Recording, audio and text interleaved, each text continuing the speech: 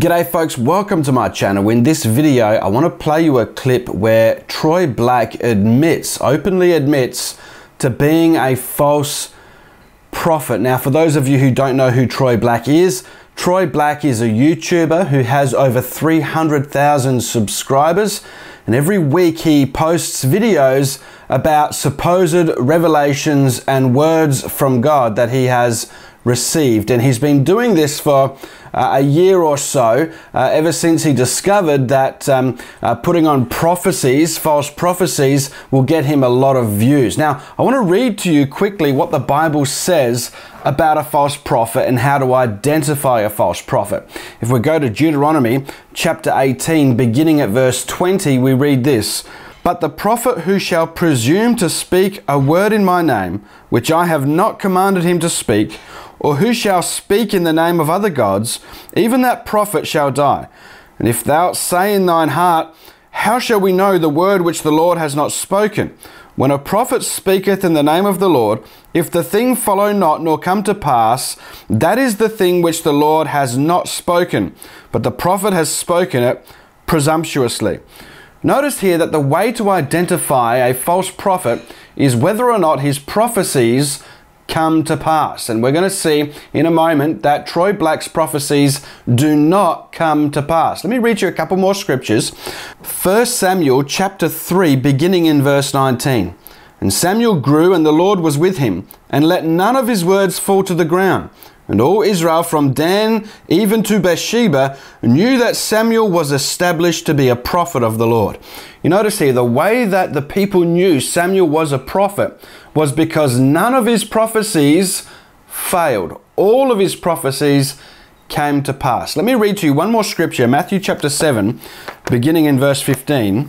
Beware of false prophets who come to you in sheep's clothing, but inwardly they are ravening wolves. You shall know them by their fruits. Do men gather grapes from thorns, or figs from thistles?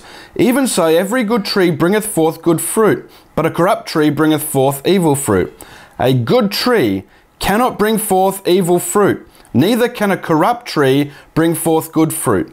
Every tree that bringeth not forth good fruit is hewn down and cast into the fire. Therefore, by their fruits, you shall know them. The Bible is very clear here that we are to beware of false prophets, and it says here that we shall know them by their fruits. Now, what's the fruit of a prophet? Well, first and foremost, the fruit of a prophet is his prophecy.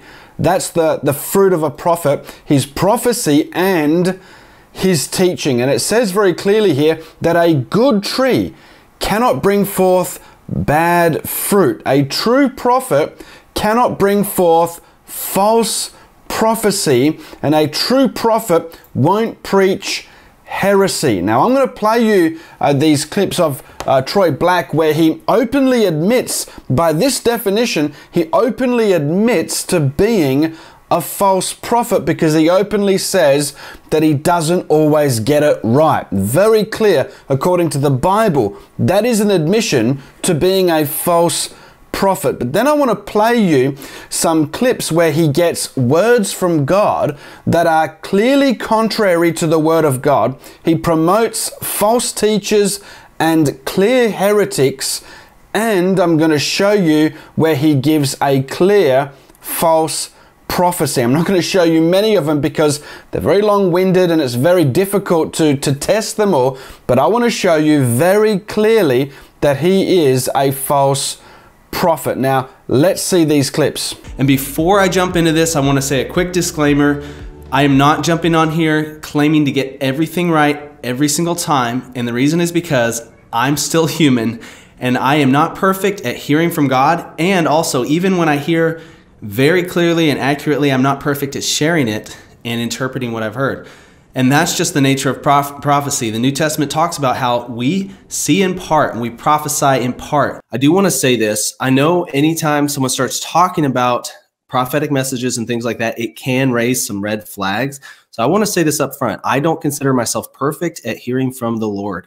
Anything I share or any other prophetic person shares, take it to the Holy Spirit and pray about it you know, because people with a prophetic gift are not perfect. I'm not perfect. Only Jesus was perfect. So, if here, yeah, if you ever have questions, you can confirm that something is either from God or the Holy Spirit can say, hey, they missed God on this one, you know, if they did, or they've got this right, but this detail here I want you to ignore.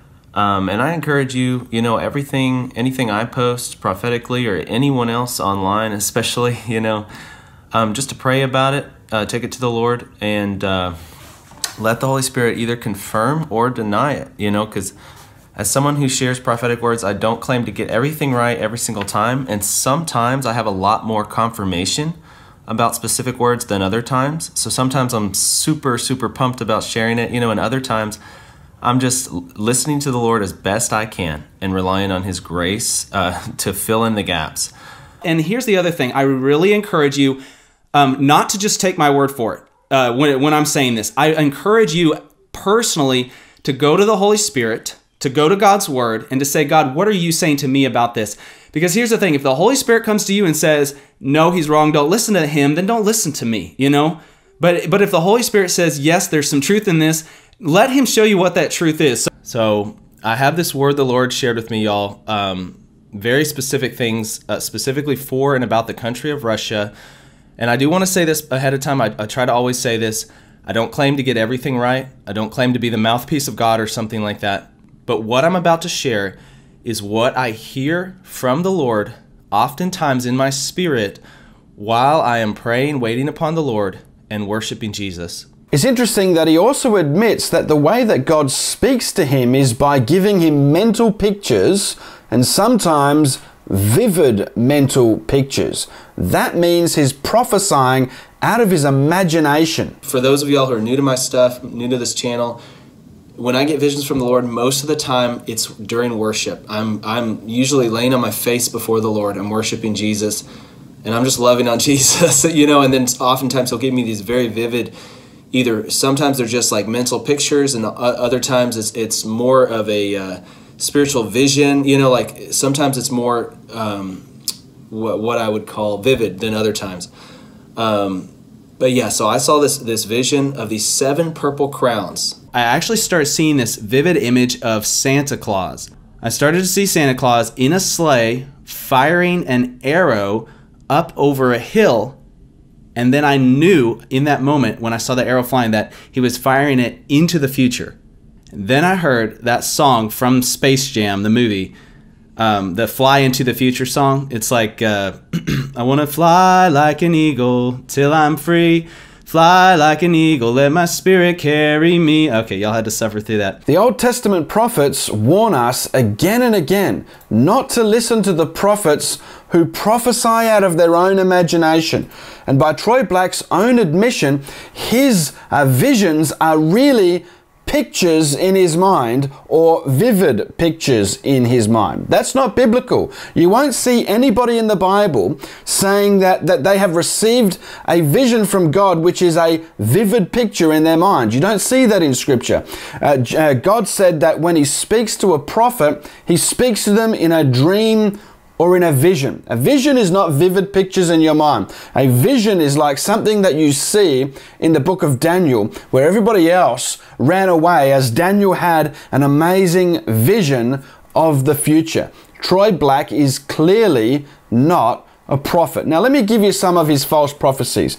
Number one, he apparently heard a word from God where he says that God loves the unbelievers as much as the believers. In fact, he says he loves them in the same way. Watch this clip and then I'm going to prove him wrong with the Bible. And then he said, Catch my passion for lost souls. I love people. I love people. And he said, The same way I love you, I love the worst of the worst. And he, what and I could I had this sense that he wasn't just talking about me. He was, but he was talking to this was a word to be shared. And he's saying that right now to you. The same way I love you, I love the worst of the worst. That is a clear false prophecy. The Bible does not say that God loves everyone in the same way. It says the opposite. For example, it says, Jacob I have loved, but Esau I have hated. God had a special love for the people of Israel that he did not have for the rest of the world. The Bible also says that God has a special love for his church. It says in the Gospel of John, chapter 14, verse 21 He that has my commandments and keepeth them, he it is that loveth me. And he that loveth me shall be loved by my Father, and I will love him and will manifest myself to him.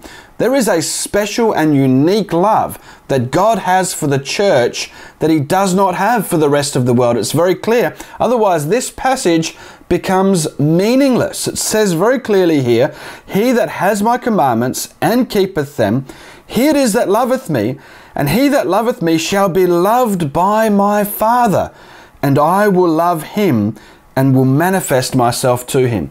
Very clear here that God has a unique love for his people that he doesn't have for the rest of the world. So God doesn't love everyone in the same way. He also promotes a heretical show like The Chosen. Let me show you this clip and let me critique it afterwards. The Lord started to speak to me very briefly about the TV show The Chosen. And this is what I heard. He said, They added some of their own opinions and ideas, but they got my heart right. So they added some of their own opinions and ideas, but they got my heart right. The second thing he said was, I'm after people who are after the heart of the Father. So he's, he's following up on this idea of them getting the heart of God right. I'm after people who are after the heart of the Father. I have a good plan for every person on this earth. Whether they find that plan or not is up to whether they discover my heart or not. That is actually false. It's a common misconception among pop Christians today. But the Bible says something very different. In the book of Proverbs, chapter 16, verse 4, it says this The Lord has made all things for himself, yea, even the wicked for the day of evil. It's very clear here that even the wicked are made for the day of judgment. What is God's plan for the wicked? Judgment. That's what the Bible says, that God has a plan for everything even the wicked, for the day of judgment. But the first part of that prophecy was also false. They added some of their own opinions and ideas, but they got my heart right. The show The Chosen has not captured the heart of God. I encourage you to watch my video on season one and season two, a critique of The Chosen. Uh, but you need to realize number one, The Chosen is a company that is owned by a man named Derral Eves, who is a Mormon. Uh, Angel Studios, the producers of The Chosen, is a Mormon owned company. Dallas Jenkins says that the Mormons are his brothers and sisters in Christ. But not only that, the man who plays Jesus is a self confessed Knights Templar, which is a branch of Freemasonry. This is a shocking TV series that is designed to unite Christians with Catholics, Orthodox, and cults. I've learned so much more about the LDS community than I than I thought I knew. But that goes for like the Catholic Church as well. Like this show has been uniquely I've never seen anything like it really. How much it has unified in response multiple faith traditions. Not only that, but Troy Black has received prophecies from God supporting false teachers like Joel Osteen and Randy Clark. And then the Lord gave me this very specific word, um, and the Holy Spirit just said, and this is, I'm going to explain this in this afterwards, but he said, Randy Clark is a lot happier than Joel Osteen. And then he went on, he paused, and he said, Because he's hearing my voice and he's seeing me move. And then he said, Joel is just trying the best he can. So I've got a lot of explaining to do, I feel like. Joel Osteen is a known false teacher who refuses to say that Jesus and, and the gospel are the only means of salvation. But not only that, Randy Clark promotes all sorts of demonic practices in fake churches.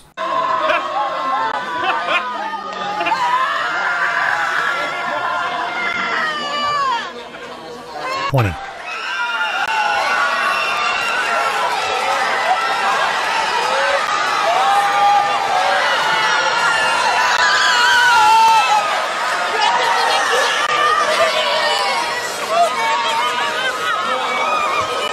Troy Black also gives prophecies saying that the Roman Catholic Church is going to be used by God. Hey y'all, this is Troy Black. So I have a prophetic word from the Lord about the Catholic Church. I began to see this vision of a, a uh, preserved plant inside of a display in a museum, basically like a fossil, you know, like a like a hardened um, uh, version of, a, of of wood of this dead plant, and it suddenly started to grow again, like it came back to life and it grew into a tree inside of this large building. And then I saw this big, beautiful tree outside with many blossoms on it. So it was as if it had been on display in this museum, and then suddenly it began to grow out of this state that it was in into this living thing, you know. And then I saw it again outside with blossoms on it. In a sense, it was bearing fruit. Then I heard the Holy Spirit say this very specifically. And like I said, it's not a sweeping statement that's going to apply to every person in the Catholic Church, but I believe it's going to apply to many. So it's this is what he said. It's the Catholic Church they're going to move in power again. That is what the Lord said. Then he said, I'm going to use them for great things.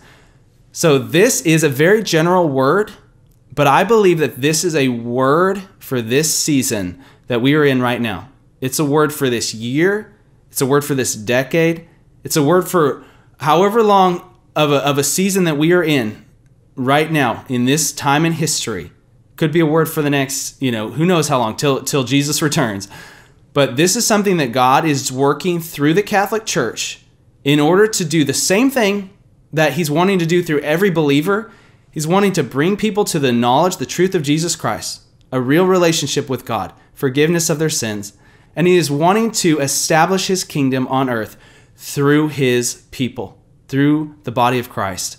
The teachings of the Roman Catholic Church are absolutely shocking. They're heretical. They anathematize Paul's gospel of salvation by grace alone, through faith alone, in Christ alone. Not only that, they see Mary as a co redeemer with Christ. In addition to that, they pray to the dead saints, they bow to pictures of them and kiss them, statues, and all the rest of it. They are absolutely heretical. Not only that, they believe that the uh, that the, the elements of the communion are the body and blood of Christ, and the priest holds it up and bows to it and says, My Lord and my God. These people are absolute heretics. There's no way that we can say that these are God's people. Now, you might say, well, maybe Troy Black meant that um, they would repent and then God would use them. The difficulty there is that is the timing he gives in this prophecy. The timing he gives at first is uh, uh this season, then this year, and then it could be any time up until the second coming of Christ. So it's untestable. It's absolutely ridiculous. This kind of prophecy is clearly a false prophecy. But I believe that this is a word for this season that we are in right now. It's a word for this year, it's a word for this decade, it's a word for however long of a, of a season that we are in right now in this time in history could be a word for the next, you know, who knows how long till till Jesus returns. But in addition to all of that false teaching, let me show you a prophecy which he gave regarding the 28th and 29th of September last year, where he said that those days would be important days in the history of the world. This is what I heard. September 28th and 29th are going to be an important day in the history of the world. I know this sounds like a crazy statement. This sounds like a big statement. But y'all, the Holy Spirit, oof, this is what he said. Watch these days. Speaking of September 28th and 29th. I'm moving in new ways. And then he said, Catch my passion for lost souls. I love people. I love people. And he said, The same way I love you, I love the worst of the worst. And he, what and I could I had this sense that he wasn't just talking about me. He was, but he was talking to this was a word to be shared. And he's saying that right now to you. The same way I love you, I love the worst of the worst. Don't judge. Full sentence there with a period. Don't judge. And then he said, Save those who are struggling. Don't judge, save those who are struggling. So I got this impression as soon as I heard him say, Don't judge, save those who are struggling. I got this impression. It wasn't a vision, but it was an impression from the Lord of this imagery that he was communicating. It was an impression of someone struggling in water, struggling in water, like in an ocean, you know. And th- and this is uh, this was the impression I got with it. You don't lecture someone who's drowning. So they might have jumped in that water themselves. That you know, they might have been trying to kill themselves. I don't know, or they might have been balancing on the a rail of a ship or the a rail of a or the side of a cliff or something. You know, they might have been, or they might have been swimming in water that was too rough for them. Whatever it was, you don't lecture someone who's drowning. You throw them a life preserver. You save them. And in Jesus' case, he saw us in the water drowning. And instead of coming to judge the world, he came to save those who were lost. He jumped in the water and he saved us at his own expense. And this is what I heard specifically um, regarding that the, the, the temptation to judge rather than point to Jesus and rather than point to salvation. I'm challenging my people to rise up and remove the restraints of the religious spirit and unbelief. He said, You won't be able to go anywhere. Uh, okay. He's asking me to repeat that last sentence. I'm challenging my people to rise up and remove the restraints of the religious spirit and unbelief. I'm challenging my people to rise up and remove the restraints of the religious spirit and unbelief. You won't be able to go anywhere with those hanging on you. You'll be stuck. But it's time to move forward. See, God's heart is not that anyone would perish, but that everyone would come to salvation through a true belief in Jesus Christ. That's God's heart. But and we are meant to be his vessels here on earth to proclaim the message of the gospel to those who are lost. But we can't do that if we are not free. If we're bound up we can't throw life preservers to people you know or we can't jump in there and grab them we can't reach our arm out if our hands are bound and that's what the religious spirit does, that spirit of judgmentalism. And I'm not saying not to have discernment and to, to see the difference between right and wrong. You know, the word talks about that um, mature believers, we are going to be able to discern between right and wrong. And especially when it comes to the decisions that we are making. But it's not our job to walk around and tell everyone in this world who's doing right, who's doing wrong, and to point out all their flaws or whatever. That's the Holy Spirit's job, and He does it way better than we do. he does it in a gentle, loving way. But it's our job to point people to Jesus, to the one who can introduce them to the Holy Spirit. That's why we're here. So he says here very clearly that God is going to move in new ways. On the 28th and 29th of September last year, God was going to move in new ways, and that we are not to judge the unbelievers because God loves them in the same way that He loves us. Uh, he talked about um, uh, throwing out a, a lifesaver to people. It seems as though this is a prophecy uh, about world changing circumstances when people are going to be brought into the kingdom of God. The problem is, nothing like that even remotely happened on the 28th and 29th of September. Therefore, it's a false prophecy. But he made another vi- video, a follow up video, desperately trying to find headlines that had nothing to do with any of that to say that this, these headlines were a fulfillment of this prophecy. Check this out. Um, these are the things that, that happened on September 28th and 29th. Number one was, uh, and I'm just going to read headlines lawmakers scramble to avoid government shutdown this week. One of the things that happened was a bill was passed that, and I, am going to I'm going to try to read this so that uh, uh, I actually get it right. Um, Senate Republicans blocked a House passed bill yesterday to suspend the debt limit and avert a government shutdown. So this was either on the 28th or the 29th. Um, there's no clear plan among lawmakers to keep government funding from running out at the end of the month. So this is a big thing. Obviously, if the government runs out of money, out of funds to uh, you know continue operating, um, and since this time, actually, and this is one of the reasons why I wait at least a week before responding to these kind of things. Since this time, uh, something has been pa- at least a temporary bill has been passed to fund until December. This is what it's interesting that the Lord had me talk about a passion for lost souls, loving people, not judging people, even the worst of the worst. Um, these are the things that, that happened on September 28th and 29th. Number one, was, uh, and I'm just going to read headlines Lawmakers scramble to avoid government shutdown this week. One of the things that happened was a bill was passed that, and I, I'm going to I'm going to try to read this so that uh, uh, I actually get it right.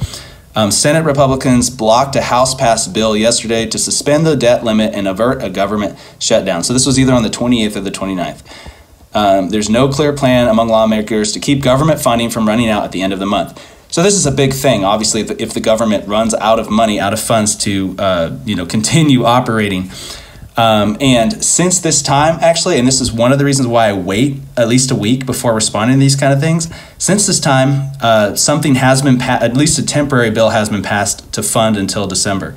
This is the other thing that happened was um, there was a uh, um, I'm just going to read read this real quick. Secretary of Defense Lloyd Austin, Chairman of the Joint Chiefs Gen- General Mark Miley or Milley, and U.S. Central Command Leader uh, General Franklin or Frank uh, McKenzie are all set to testify today before a Senate committee. This happened on the 28th.